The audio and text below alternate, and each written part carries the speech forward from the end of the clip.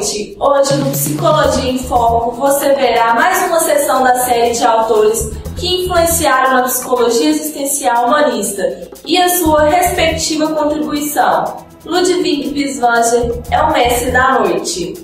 Hoje, 13 de novembro de 2013, o jornal Psicologia em Foco está no ar.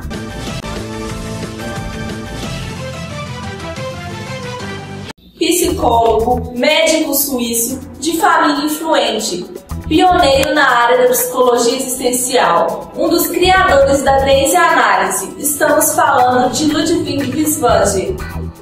Vejamos mais algumas informações sobre o nosso autor de hoje, antes de aprofundarmos nas suas experiências teóricas.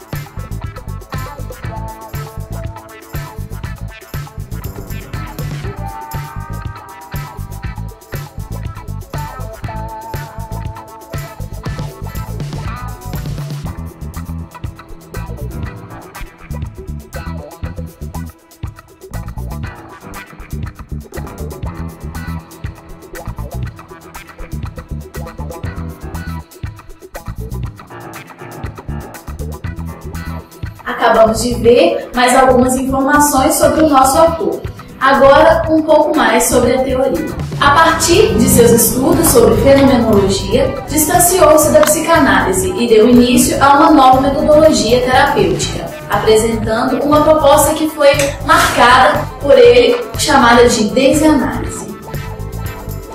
O termo Daisy é originário da língua alemã. Significa ser aí, o ser aí ou ser aí no mundo. É especialmente usado no contexto filosófico como sinônimo para existência.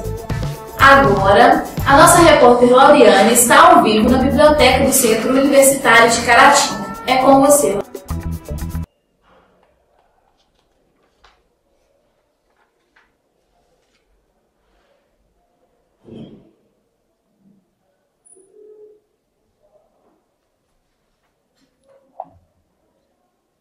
Helena, boa noite. Estamos aqui no Centro Universitário de Caratinga, na biblioteca, onde podemos ver o acervo da psicologia. E dentro desses livros podemos ver também sobre o livro que citou mais, né, enfatizou mais sobre a abordagem fenomenológica existencial, a desanálise, um termo que foi citado pela primeira vez pelo filósofo alemão Martin Heidegger em sua obra Ser e Tempo em 1927 que tinha como objetivo explicitar as características ontológicas constituintes do existir humano e compreender o sentido do ser enquanto tal. Binswanger já tentou-se para o, para o quanto a concepção de rede sobre o existir humano e o sentido do ser poderia ser útil para a nova compreensão de fenômenos psiquiátricos. Então, o conceito de Daisy, até então puramente restrito ao âmbito filosófico e e ontológico passou a ser aplicado para, para Binswanger para a compreensão e a descrição dos quadros clínicos psiquiátricos, surgindo então desde a análise, ou seja, a aplicação dos fundamentos filosóficos de Heidegger na psicoterapia clínica. E onde podemos ver que a biblioteca fica aberta de, das 20 às 22 horas, onde qualquer pessoa pode visitar, alugar livros, ler, no caso, se precisar tirar xerox, fica aberto ao público. É com você, né? Clariana, obrigada pelas informações. Tenha uma boa noite. Assim, nosso autor de hoje propôs uma desanálise psiquiátrica, um método de investigação para compreender e descrever as síndromes e os sintomas perceptíveis na psicopatologia, segundo uma abordagem fenomenológica. Hoje, podemos compreender a importância dos estudos e da cooperação de Bisvanger na psicologia existencial humanista. Portanto, agora você, telespectador, que esteve conosco nessa edição, já conhece mais. Continuaremos com outros contribuintes na área.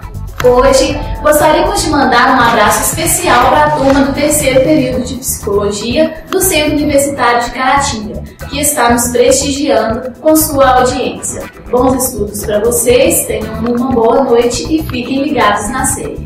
Obrigada pela sua audiência, tenha uma boa noite e até logo. Boa noite.